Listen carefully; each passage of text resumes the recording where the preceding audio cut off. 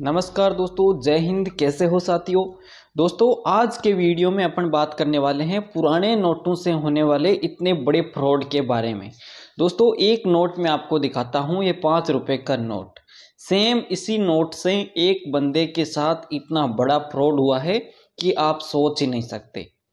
अब देखिए दोस्तों, ये वीडियो आपके लिए बहुत ही इम्पोर्टेंट होने वाला है। जो भी बंदा अपने ओल्ड कॉइन्स पुराने नोट सिक्के, जो भी उसके पास कलेक्शन है, वो सेल करना चाहते हैं, उन सभी के लिए ये वीडियो बहुत ही इम्पोर्टेंट है। वीडियो को पूरा अंत तक देखिए। अब मैं आपको इसमें बताता हूँ। एक हमारे मिलने वाले का दोस्त है राजेंद्र सिंह। उस राजेंद्र सिंह के साथ एक फ्रॉड हुआ है इसी नोट से। अब जैसे ही उन्होंने हमारे वीडियोस देखे हैं, पहले से ही वो वीडियो देखते हैं हालाँकि, लेकिन उन्होंने सिर्फ़ इतना ही देखा है कि किसी को रजिस्ट्रेशन चार्ज नहीं देना है, किसी को आरबीआई के पैसे नहीं देने हैं, किसी को बैंक के नाम से पैसे नहीं देना है। अब उनके साथ किस तरीके से फ्रॉड हुआ है, ये देखिए आप। उन्होंने ना तो किसी को रजिस्ट्रेशन चार्ज दिया है, ना ही किसी को आरबीआई लेटर के नाम से पैसे दिए हैं, ना ही किसी बैंक के नाम से पैसे दिए हैं। फिर भी उनके साथ सत्तावन हज़ार रुपये का फ्रॉड हुआ है। वो कैसे देखिए? उन्होंने हमारे वीडियोज़ से इतना ही सुना है कि किसी को चार्ज नहीं देना है, जबकि उनसे किसी एटीएम की जानकारी मांगी गई और उन्होंने अपने बैंक की जो पर्सनल डिटेल्स है, वो प्रोवाइड करवा दी और एक ओटीपी आया, वो भी उसको भेज दिया। अब देखिए, उसी के द्वारा उसके अकाउंट से सत्तावन हज़ार रुपये का फ्रॉड हो गया। अब आपको भी इस तरह से सावधान रहने की ज़रूरत है साथियों। सभी दोस्तों को सावधान रहने की ज़रूरत है। क्योंकि देखिए, आजकल क्या करते हैं, पहले जिस टाइम से ये कोइन से फ्रॉड चलता है छः सात महीने से हमारी जो टीमें हैं अलग अलग तरीके से हम लोगों को अवेयर करते जा रहे हैं। जैसे ट्रू इवेंट्स वाले रोहित जी सर है, उनने भी काफ़ी लोगों को अवेयर किया है, उन, काफ़ी लोगों तक मैसेज पहुँचाया है कि किसी को भी चार्ज एक रुपया नहीं देना है। इधर से हमारी टीम है, जो शुरू से कहती है, ये चार्ज नहीं देना है। तो काफ़ी लोग सतर्क हुए हैं चार्ज बिल्कुल नहीं देते हैं। लेकिन फिर भी कई ऐसे लोग रह गए हैं, जिनको, जिन्होंने इतना ही सुना है कि चार्ज किसी को नहीं देना है। बल्कि उनको ये पता नहीं है कि अपन को चार्ज भी नहीं देना है और अपनी जो पर्सनल डिटेल्स है बैंक डिटेल्स है, वो भी उनको प्रोवाइड नहीं करवानी है। अब ऐसा ही उसके साथ हुआ है। एक राजवीर सिंह नाम की किसी आईडी बताई जाती है। कोई अकाउंट बताया जा रहा है या बंदे का नाम राजवीर सिंह होगा, मैं नहीं जानता, मेरी कम बात हुई थी उनसे।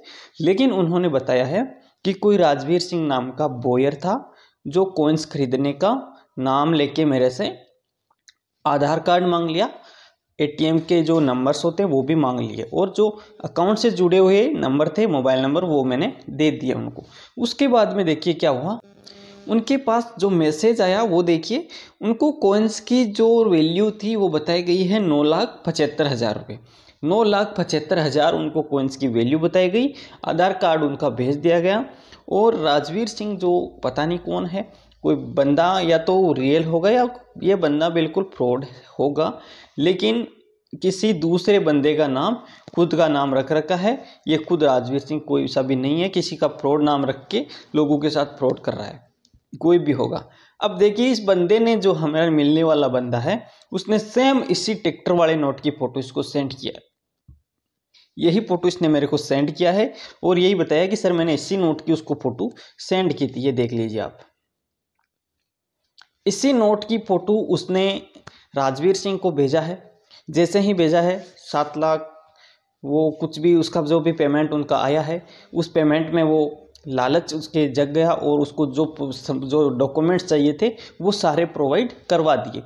अब देखिए, जैसे ही उसने उसके अकाउंट नंबर जो अकाउंट से जुड़े मोबाइल नंबर वो सारे देखे, उसके पास एक ओटीपी सेंड किया और उनको सीधा यही बताया कि, सर, आपके पास हमने यहाँ से आपकी प्रोसेसिंग पूरी कर दी है। कुछ समय बाद में आपको एक बैंक की तरफ़ से मैसेज आएगा और वो बैंक के ओटीपी आएँगे। उनको आप प्रोवाइड करवा देना। आपकी जो आरबीआई लेटर है, आपकी जो बैंक की डी है, वो बन जाएगी। अब जैसे ही कुछ देर बाद में कुछ देर बाद में ओटीपी उनके पास मोबाइल में आ गए, जैसे ही ओटीपी आए। लेकिन उन्होंने दिमाग कहाँ लगाया? पहले उन्होंने कहा था, जो फ्रॉड बंदा है, उसने कहा था कि, सर, आपके पास जो ओटीपी आएँगे, वो हम नहीं भेजने वाले हैं। हमारा यहाँ से प्रोसेसिंग पूरी हो चुकी है। अब आगे की प्रोसेसिंग है, वो बैंक की है। बैंक की तरफ़ से आपको मैसेज आएगा। वो क्या आपको जानकारी पूछते हैं, वो आप उनको दे देना। जैसे ही बैंक का मैसेज आया, उन्होंने जो ओटीपी है, वो पूछे बैंक का मैसेज नहीं था वो वो उसी बंदे के द्वारा भेजा हुआ मैसेज था। उसमें ओटीपी आए, जैसे ही उसने ओटीपी आए, एक दूसरे नए नंबर से कॉल आता है और पूछा जाता है कि कहा जाता है, मैं बैंक से ये बात कर रहा हूँ, आपके पास, आपकी ऐसी कोई रिक्वेस्ट आई हुई है? आपका पेमेंट यहाँ से डन हो चुका है। आपके पास जो ओटीपी आए वो हमें प्रोवाइड करवा दीजिए। अब जैसे ही वो बंदा सोचता है कि यार उसका काम हो चुका है, अब इधर से बैंक का काम है तो अपन को ही करवाना पड़ेगा। जैसे ही उसने देखा ओ उसको बता दिए। जैसे ही ओटीपी उसने बताया बैक टू बैक उसके अकाउंट से सत्तावन हज़ार रुपये का फ्रॉड हो गया। अब देखिए दोस्तों, एक नए तरीके से उसके साथ फ्रॉड हुआ है। इसलिए सभी को जानकारी देना बहुत ही इम्पोर्टेंट है, क्योंकि हो सकता है इस तरीके से आपके पास भी कोई मैसेज आ सकता है, सावधान रहें। अगर आपको किसी भी तरीके से अपनी पर्सनल डिटेल्स कोई बंदा माँगता है तो उसको पर्सनल डिटेल्स नहीं दें किसी भी हालत में। ना ही किसी को आरबीआई के नाम से एक रुपया देना है, ना ही किसी को ओटीपी बताने हैं, ना ही किसी को रजिस्ट्रेशन चार्ज के नाम से पैसे देने हैं। पैसा आपको एक रुपया नहीं देना है, मैंने पहले ही बताया है, हर वीडियो में बताया एक रुपया किसी को अपने कोइंस सेल करने के लिए नहीं देना है।